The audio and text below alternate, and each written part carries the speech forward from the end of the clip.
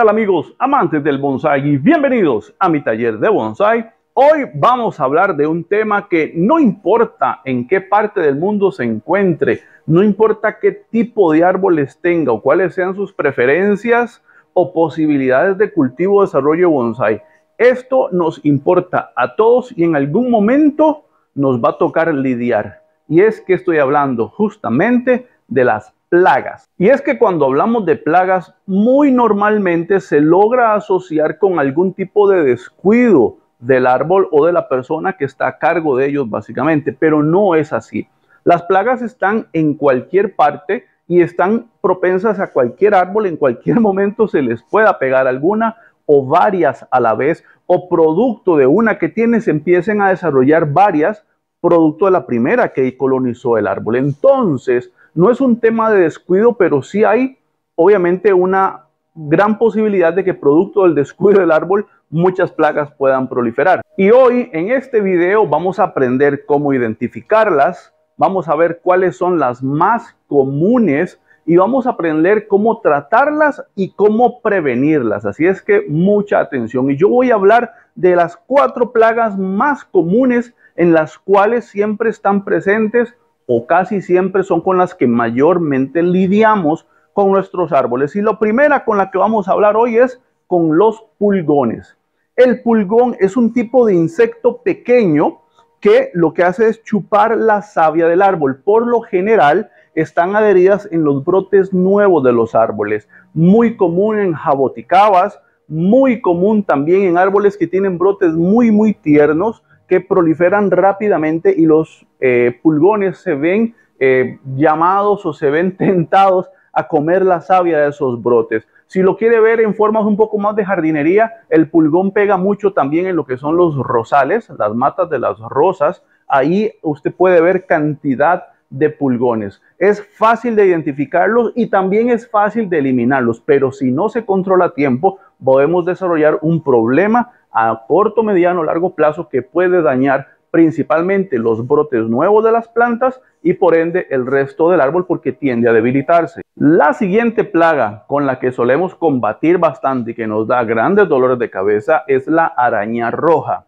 No es un arácnido como la palabra lo dice, sino es un ácaro. Es un insecto diminuto que lo que hace es adherirse al follaje, prolifera generalmente o es más común verlo en coníferas, en juníperos.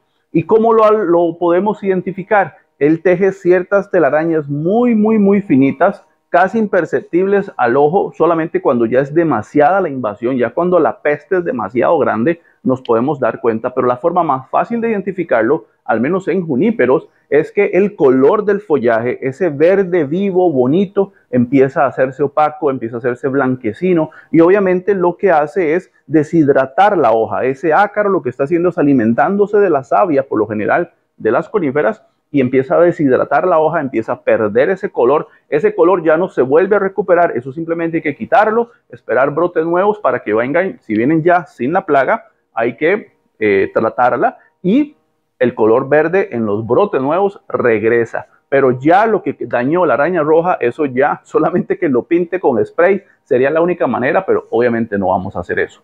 Es una plaga muy común, prolifera básicamente en ambientes muy secos, en ambientes donde hay poca humedad, les encanta y proliferan. Entonces, adelantándome un poco a la prevención, podemos mantener nuestros juníperos un poco atomizados con agua y ese ambiente húmedo controlado va a, mantener esa plaga o esa proliferación un poco a raya. Pero una vez que ya el árbol la tiene, hay que tratarla con otros productos para poder eliminar el que está y el que viene, que son obviamente los huevos. Así es que es muy fácil identificarla. Todos conocemos el método de la hoja en blanco, donde agarramos una hoja de papel cualquiera, la ponemos debajo de la rama, le damos unos golpecitos y si la basurita que cae en la hoja blanca camina, o cuando usted le pasa la mano, deja un rastro, deja una línea, que quiere decir que son ácaros y por lo general es araña roja. Entonces, eso es una señal inequívoca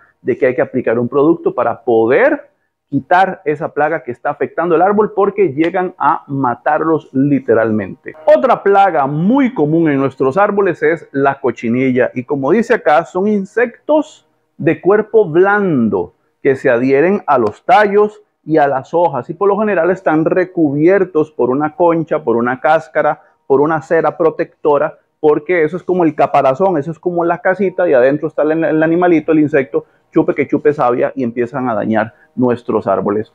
Son muy fáciles de identificar porque se notan ciertas protuberancias en el tallo. A veces se camuflan muy bien de color verde o del color del tallo, a veces son de color café.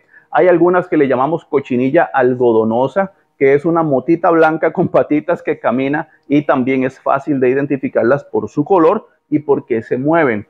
Proliferan muy fácil, les encanta la humedad y ahí hay un dato importante. Ojo el tip que viene acá. Por lo general, cuando tenemos este tipo de insectos, este tipo de ácaros, chupadores, que llamamos cochinillas, por lo general crean una simbiosis o una relación con las hormigas. Las hormigas para que no se las coman, ellas excretan una solución azucarada, vamos a decirlo de alguna forma, que les gusta a las hormigas. Eso genera un tipo de hongo que obviamente empieza a crear una relación simbiótica donde las hormigas se alimentan de eso y las eh, cochinillas pueden seguir comiendo, pueden seguir colonizando el árbol o la planta en este caso para eh, seguir prosperando. Obviamente todo eso trae problemas de salud, de crecimiento y de enfermedad a nuestros árboles. Pero si usted ve hormigas en su árbol, yo siempre lo he dicho, tiene dos posibilidades. Una, que estén mudando el hormiguero a la maceta o dos, que tenga ácaros. Y la forma más sencilla es, ojo, revise, busque tiene que estar muy familiarizado con lo que es su árbol, la especie, la que sea, no importa, y estar familiarizado con su corteza, con el color de sus tallos, etcétera, etcétera, para ver esas protuberancias y con los años el ojo se va a ir entrenando y en cosa de dos segundos usted ya se puede dar cuenta qué tipo de ácaro tiene, se pueden eliminar con la mano, no pasa nada, un poco asqueroso, pero es fácil de eliminarlas. Pero las cochinillas son un dolor de cabeza que a todos nos llega en algún momento, a uno, varios o a todos nuestros árboles. La siguiente plaga con la que nos toca lidiar muchas veces es la mosca blanca. Son insectos voladores que pueden debilitar plantas alimentándose de la savia. Vea el común denominador que hemos venido viendo atrás con todas las otras plagas que todas se alimentan de la savia. Obviamente, el quitarle la savia al árbol, le estamos quitando el transporte de nutrientes y demás y el árbol va a ir debilitándose. La mosca blanca es muy fácil de identificar.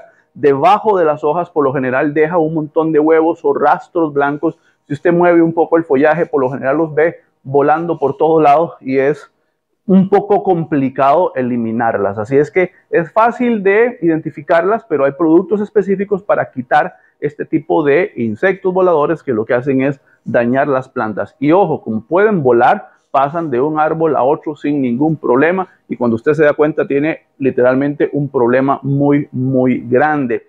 Y la última plaga con la que vamos a trabajar hoy, con la que vamos a identificar, son las escamas. La escama es una plaga tipo la cochinilla, pero es de cuerpo grueso, eh, fuerte. La, la escama que lo, recurre, lo recubre o el cuerpo que lo recubre es duro. Ahí sí tenemos un problema porque se adhieren bastante a la, a la corteza del tronco y adentro está también el animalito comiéndose la savia, pero esa protección que tiene, ese caparazón, vamos a decirlo así, le brinda una protección extra contra ciertos productos. Entonces ahí hay que poder identificarla bien para poderla tratar y para poderla eliminar. Porque si usted simplemente rocía con alguno que otro producto por ahí y el, caparazón es eh, resistente a ese producto, el va a estar adentro comiendo sin ningún problema y el caparazón lo va a estar cubriendo. Vea qué eh, complicado, pero vea qué importante estar informado de estos tipos de plagas, que como digo, es a términos muy generales. A Dios gracias, este canal lo ve personas en muchos países, entonces estoy tratando de abarcarlo de una forma muy general con las plagas más comunes a las cuales nos enfrentamos. Ya las tenemos identificadas, ya sabemos cuáles son, ya sabemos cómo verlas, Ahora vamos a empezar con lo que es la prevención y luego vamos a ver tratamientos. Dentro de lo que es la prevención, hay cuatro puntos importantes en los cuales tenemos que tener siempre presentes para evitar que estos pequeños amigos se llenen de plagas de forma muy fácil. Voy a, yo las tengo aquí apuntadas y se las voy a ir eh, detallando poco a poco. Y lo primero es la higiene del bonsai. ¿Qué me refiero con higiene del bonsai? Es mantener un área limpia, no solamente dentro del árbol, sino alrededor, que permita el árbol tener un libre paso de aire, que restos de hojas, de tierra, maleza, todo eso va a generar de alguna manera la proliferación de ciertas plagas y hasta hongos, que eso lo vamos a ver en otro video. Pero si yo tengo un árbol muy tupido, muy lleno de follaje, por mucho tiempo, recuerden que el crecimiento en el árbol es bueno, es salud, es desarrollo, es engrosamiento y otra serie de cosas que ya sabemos, pero al pasar el tiempo, el árbol no solamente va de alguna forma a perder su estructura, sino que también le vamos a dar pie a que la sombra, vea que yo paso por aquí mi mano y se ve luz, pero si eso estuviera tan, tan tupido, aquí adentro no llegaría luz del sol y eso elevaría el tipo de humedad interna, sumado a un montón de mala hierba, a un montón de hojas secas y demás cosas, eso va generando un ambiente propicio para la proliferación de plagas. Entonces, la higiene en nuestros árboles es sumamente importante. Un riego adecuado Obviamente tenemos que aprender y eso es algo que cuesta lograrlo, pero con la constancia y con la práctica se puede lograr el riego adecuado en nuestros árboles de acuerdo a la zona geográfica, de acuerdo al clima en el que nos encontremos, de acuerdo a la estación del año en que estemos, de acuerdo a la frecuencia, de acuerdo al tipo de sustrato, al tamaño de la maceta. Todo eso influye a poder hacer un riego adecuado a nuestros árboles que mantenga un árbol saludable y no genere más bien un ambiente propicio para el desarrollo de plagas. Otro punto importante que mencioné ligeramente hace un momento es la ventilación, la circulación de aire, muy necesario también en pinos. Un pino donde no podemos tener o tiene demasiado follaje que le impide la circulación correcta de aire en medio de sus ramas, en medio de sus hojas, es un ambiente propicio para generación de problemas en los pinos y en todo árbol en general. Debemos asegurarnos que nuestros árboles tengan una situación adecuada, no estar completamente adheridos, pegados todos ahí, hechos un montón, porque eso también va a generar que no circule suficiente aire y eso pueda generar plagas. O si ya el de aquí tiene, se lo va a pasar al del otro y así sucesivamente. Tenemos que procurar dentro de nuestras posibilidades buscar sectores donde cada uno tenga su espacio suficiente para que el aire corra, circule sin problema, el árbol esté ventilado, el árbol esté fresco, vamos a decirlo de alguna forma, y que eso pueda generar un ambiente propicio lejos o evitar hasta donde se pueda la proliferación de plagas. Y por último, las revisiones regulares. Los que tienen la bendición de poder tener sus árboles a nivel del suelo es un poco más sencillo. Los que por alguna u otra razón tenemos que tener los árboles en el techo, la revisión tiende a ser un poco más tediosa, un poco más laboriosa, pero igualmente necesaria. Periódicamente tómese un momento, sírvase un café, un refresco, lo que quiera, siéntese un momento, revise los árboles, repáselos, mire rama por rama, vea la estructura, no simplemente siéntese a ver el árbol como un todo y siéntase orgulloso de lo que ha logrado. Vaya un poco más allá, adentre el ojo hacia la parte interna, fíjese si hay protuberancias, fíjese si hay hormigas, fíjese qué tipo de insectos andan por ahí, si hay arañas, si hay cualquier otra cosa que pueda identificarle, que pueda darle a usted una noción de que algo extraño está sucediendo ajeno al crecimiento normal del árbol. Esas revisiones regulares donde aprovechamos para quitar mala hierba, para quitar hojas, para quitar cáscaras, en este caso de jaboticaba, que en su crecimiento empieza a descascararse. Bueno, empezamos a quitar, vemos que no haya nada por debajo, que no hayan gusanos, que no hayan arañas, que no hayan hormigas, que no haya lo que sea.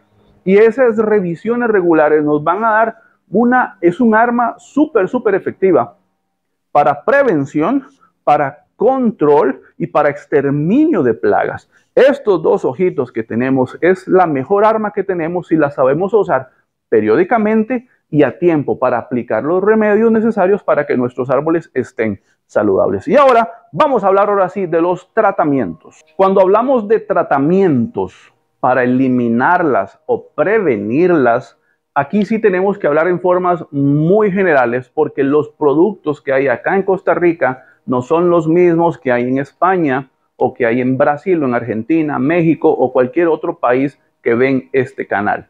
Así es que yo voy a tratar simplemente términos generales y los voy a dividir los tratamientos en dos grandes grupos. los químicos y los orgánicos.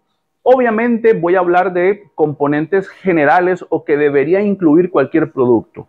Ante cualquier duda, lo importante sería hacer una consulta en el agro más cerca que tenga, pedirle a un regente agrónomo que le pueda dar un veredicto o que le pueda dar un tratamiento adecuado a la plaga que usted tiene. Si se encuentra en otro país que no es Costa Rica, siento que tal vez sería lo más adecuado a menos que tenga los productos que aquí se hablan o que tenga los productos que contienen los elementos de los cuales yo les voy a hablar. Y entrando en el tema de los químicos, tenemos los insecticidas de contacto. Y si me ven leyendo es porque obviamente no me lo puedo aprender todo.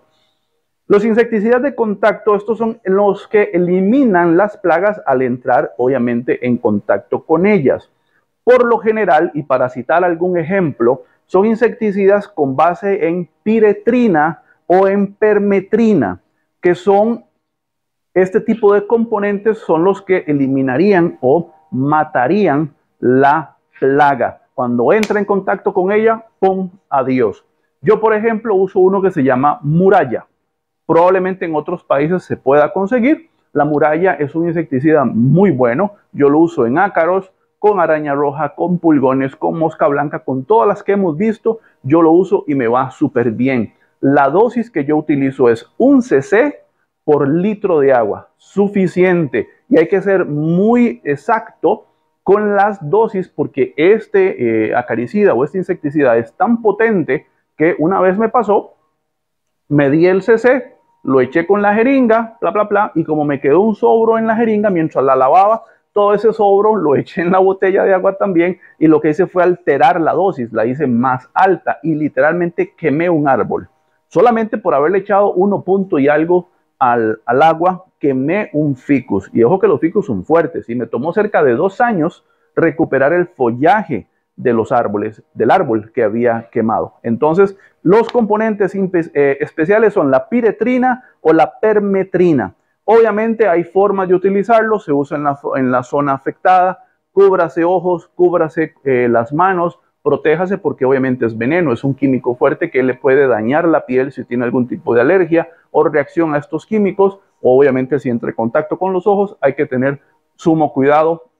Hágalo en un lugar donde no haya corrientes de aire fuerte que le puedan caer el producto encima. Todo este tipo de precauciones son importantes a la hora de trabajar con este y cualquier tipo de químicos. Los otros son los sistémicos. Los sistémicos son insecticidas que absorbe la planta y que actúan de adentro hacia afuera. Son efectivos para plagas difíciles de alcanzar como las cochinillas.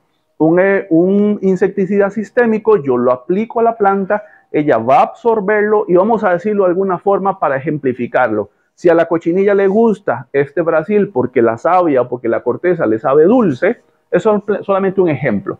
El sistémico lo que va a hacer es que cuando la planta lo absorbe, él mismo se va a volver amargo y a la cochinilla no le va a gustar y obviamente al absorber ese componente que la planta está absorbiendo, obviamente se va a morir, se va a intoxicar, se va a envenenar y adiós plaga. Entonces ya sabemos, están los de contacto y están los sistémicos. Ahora tenemos los tratamientos orgánicos y una cosa importante para diferenciar entre químico y orgánico es que el tratamiento químico o los insecticidas o acaricidas químicos van a tener un efecto más inmediato, más pronto. Usted va a ver el resultado muy, muy rápido, casi me atrevo a decir desde la primera aplicación. Con los tratamientos o con los productos orgánicos, el, el resultado se va a ver corto, mediano plazo, me atrevo a decir, porque hacer de origen orgánico no tiene productos químicos, la acción en el árbol es un poquito más prolongada en el tiempo, pero igualmente efectivos. ¿Qué me hace a mí decidirme sobre uno u otro? Obviamente un tema de preferencias, un tema de disponibilidades según el área en el que se encuentre, y también es que con el orgánico va usted muy a la segura porque no hay forma de dañar al árbol o es una forma muy difícil, habría que hacer algo muy, muy invasivo o una dosis muy alta para tratar de dañar el árbol. Con el orgánico usted va más a la segura. Con el químico, como el ejemplo que acabo de dar, si excedemos un poquito la dosis podemos crear un problema difícil de, de controlar o inclusive imposible. Entonces hay que tener eso en cuenta. Con respecto a los tratamientos orgánicos, hay varias opciones. Yo les voy a dar unas cuatro opciones para que usted pueda considerarlas, pueda tenerlas y pueda buscarlas si están a mano en el lugar donde usted reside. Y el primero es el aceite de NIM. Todos hemos escuchado del bendito aceite de NIM, donde es un insecticida natural, es derivado del árbol de NIM, obviamente, es muy efectivo con cierta variedad de plagas como lo que es el pulgón, la araña roja y las cochinillas. Actúa como un repelente y también interfiere en el ciclo de vida de las plagas. ¿Qué quiere decir el ciclo de vida de las plagas? Si usted tiene una plaga visible en su árbol, aplica un producto y lo elimina, por lo general las larvas, o mejor dicho, los huevos, quedan intactos o al menos se salvan algunas y ya cuando eclosionan, obviamente vuelve la plaga y a veces hasta con más fuerza y usted dice, qué raro, este producto no me sirve, lo apliqué y más bien vea cómo está, estoy lleno otra vez. No. Muy poco producto puede tener la capacidad de que a la primera aplicación se murió todo y todo siguió tranquilo. Con los químicos es más posible, sin embargo, siempre es necesario una segunda o tercera aplicación. ¿Qué, ¿En qué tiempo lo hago o cada cuánto lo hago? Si estamos hablando de productos químicos, yo me atrevería a decir cada 22 días, cada mes aproximadamente, pero que no sea una cuestión de todos los meses le aplico, porque si no la planta y las plagas pueden crear cierta resistencia a estos productos, obligándonos a buscar cada vez algo más fuerte que obviamente ponga en riesgo la salud de la planta. Ahora, tenemos también el jabón insecticida, sales potásicas también. Es un producto natural que se usa para sofocar plagas como pulgones y arañas rojas. Funciona destruyendo la capa cerosa protectora de los insectos, haciendo que se deshidraten. Tenemos otro que todos tenemos en nuestra casa, sobre todo en México, el ajo y el chile. Estos ingredientes comúnmente de cocina tienen propiedades insecticidas naturales. Pueden usarse para preparar una solución casera para el control de plagas. Se tritura el ajo, se tritura el chile, se mezcla con agua, se deja reposar y luego se pasa por un colador y se mezcla y eso se rocía con las, a las plantas sin ningún problema. Hay gente que utiliza también tabaco para los que fuman, las colillas de cigarro se dejan reposar para que esa agua se tiñe con eso y también lo utilizan como un repelente, como un insecticida. De nuevo, son productos caseros, son productos que accionarán o que darán resultados en el tiempo de varias aplicaciones. No es como un muralla, como un insecticida de contacto químico que a la primera aplicación lo que tocó se lo echó. No, esto lleva un poquito más de tiempo, por lo tanto tenemos que ir valorando si es un tema de prevención, podemos arrancar con orgánicos. Si es un tema de exterminio, podemos optar por un tema químico, de contacto o sistémico. Y por último tenemos el alcohol isopropílico, que es útil para eliminar plagas de cuerpo blando, como las cochinillas, la cochinilla algodonosa. Se disuelve la capa protectora de las plagas y esto lo lleva a su eliminación. Eso se puede mojar con un algodón y aplicar directamente en el insecto, en el bichito que usted ve ahí, y eso lo va a deshidratar y eso lo va a matar. Obviamente es un, es un tema de tiempo, porque si tenemos un árbol con muchas y vamos a estar con un algodón o con un aplicador una por una, pues obviamente nos va a tomar bastante tiempo, pero es un tema de preferencias, es un tema de gustos. Y el último método que nos queda es el método mecánico que ese está a la mano de todos nosotros porque simplemente es usar estas dos manitas que tenemos acá, que es eliminarlas una a una. Pasa mucho con los ficus. Los ficus son dulces para que se les peguen las cochinillas. Entonces, a veces, simplemente en el periodo de observación o mantenimiento que hacemos con los árboles, podemos irlas eliminando poco a poco. Porque si esto prolifera, se vuelve prácticamente incontrolable y a veces a mí me ha tocado en algunos momentos, en lugar de eliminarla, simplemente podar la parte que ya está muy afectada porque son demasiadas. Entonces mecánicamente no se puede o tarda demasiado o voy a maltratar el árbol. Si es un árbol pequeñito como este que tiene tallos y brotes muy eh, delgaditos, muy sensibles, pues es más el daño que el beneficio que le voy a hacer. Entonces otro caso es simplemente podar, defoliar o podar, meterle un insecticida Asunto resuelto, el árbol vuelve a brotar, estamos vigilantes, estamos eh, eh, precavidos de lo que vaya a suceder. Si es necesaria una segunda aplicación, pues le damos camino y ahí vamos. La, con, conclusión de todo esto, la manera más fácil de evitarlo es la prevención. Con la prevención no vamos a evitar que la plaga llegue. Con la prevención vamos a evitar que la plaga prolifere o que llegue con mayor facilidad a nuestros árboles, pero eventualmente, en algún momento, por más cuidadoso que usted sea, la plaga va a llegar.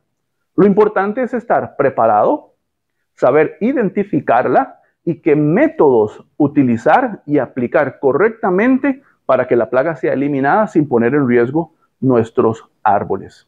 De nuevo, entiendo y respeto mucho a las personas que tienen un programa identificado de eh, fumigación de árbol a cada cierto tiempo y son muy eh, disciplinados en esto y yo los admiro y los respeto porque yo la verdad no lo hago. Yo me baso mucho en la prevención, yo me baso mucho simplemente en ver el tiempo, ver las condiciones en las que se encuentran. Les doy dos ejemplos muy rápidos. Yo empiezo a identificar el follaje, si veo que algo está pasando, si veo que hay hormigas, reviso, hay plaga, vámonos a fumigar. Si estamos entrando en invierno, sé que los pinos son susceptibles a la alta humedad por un tema de hongos, que como dije, vamos a hablar de eso más adelante. Entonces aplico un fungicida preventivo para que el árbol tenga su protección necesaria y no permitir que el hongo llegue. Lo mismo con las plagas. Pero si yo estoy, al menos es mi criterio y mi opinión sumamente personal, repito, respeto al que lo hace de forma ordenada cada mes, cada 15, cada dos meses, como sea, mi opinión personal es que llega el punto en que el árbol o la plaga van a generar una resistencia, obligándonos a aplicar cada vez productos más fuertes. Porque las plagas van evolucionando al igual que los árboles, al igual que nosotros. Entonces, es una opinión meramente personal. Yo prefiero identificar y aplicar la solución y dejar que el árbol sea tal cual con las condiciones de higiene, de ventilación, de limpieza y etcétera que acabamos de ver en el video para que el árbol siga siendo quien es y en el momento que necesite ayuda, ahí estamos oportunos a brindársela. Lo importante es prevenir, lo importante es estar eh, observando nuestros árboles y sabiendo que en cualquier momento las plagas pueden llegar. Pero si sabemos aplicar estos sencillos pasos, sabemos identificar los productos que nos pueden servir según sea cada plaga y podemos mantener las condiciones necesarias para que los árboles estén bien, las cosas van a darse fáciles, sencillas y no va a ser un dolor de cabeza o no se va a volver algo incontrolable. ¿Tiene algún otro método? ¿Tiene alguna otra opción que se me fue? ¿Ha lidiado de alguna otra manera con alguna de estas plagas que eh, les acabo de mencionar? Háganmelo saber acá en los comentarios y compartamos juntos el conocimiento, productos, métodos o cualquier otra eh, característica que usted utilice para la prevención de plagas y para la eliminación de estos bichitos que a veces nos sacan las ideas y nos ponen a doler la cabeza. Así es que esto fue todo por el día de hoy. Espero que les haya gustado y si le quedó alguna duda, háganmelo saber en los comentarios al pie del video. No olvide que ahora estoy en TikTok como arroba Jonathan Segura Solís. No olvide darle like a mi página en Facebook y por supuesto suscríbase a este su canal de videos, mi taller de bonsai, para aprender haciendo. Nos vemos. Chao.